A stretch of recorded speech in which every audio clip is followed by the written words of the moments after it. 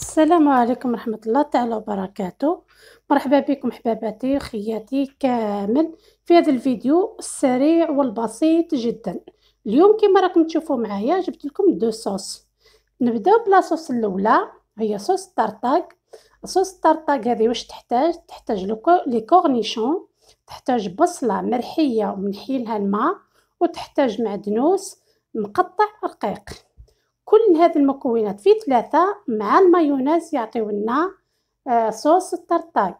ولا هنا كما راكم تشوفوا مغرف كبيرة تاع les cornichons مع مغرف كبيرة تاع بصلة اللي ريحتها مليح ونحيت لها هذاك الماء باش ما يطلقناش في la sauce ولا هنا عندي معدنوس مقصوص حتى هو رقيق. أنا هنا أخواتي المعدنوس نشتي ندير فيه حتى هذاك العرق تاعو رقيق خلاص. نحبه يعجبني. وأنتم تحبوا تنقيوه بالورقة تقدروا. لهنا نخلطوا هاد المكونات كامل كما راكم تشوفوا فيهم. خلطوهم مليح مع بعضهم ينسجموا نضيفوا لهم المايونيز.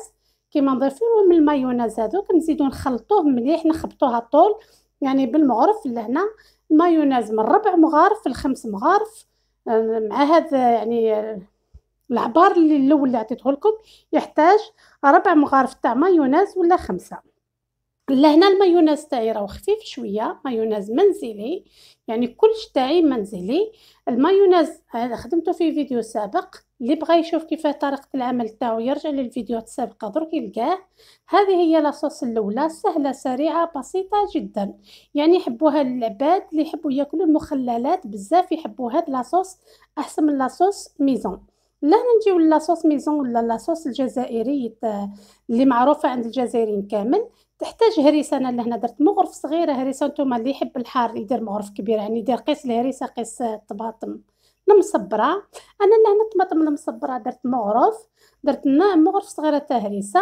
أما لهنا كيما راكم تشوفوا لهنا درت الزعتره نتوما هاد المعطرات ولا هاد المنكهات اللي يحب يزيد أي منكه آخر يزيدها زرعة البسباس ولا يحب يدير يعني أي أي حبوب هادو اللي تحبوا ديروهم هاد المنكهات ديروا واش تحبوا نتوما. ولا هنا زدنا مغرف كبيرة نتاع معدنوس مقطع رقيق. ولا هنا درت نصف حبة نتاع قارص اللي جاتني مغرف كبيرة ودرت مغرف صغيره نتاع السكر. يعني اللي دار القارص يدير معاه السكر اللي ما دارش القارص يدير نصف حبة تاع تشينا ولا برتقال يدير النصف تاعها بدون إضافات. يعني هذاك السكر تاع البرتقال هو اللي مد هذيك النكهة.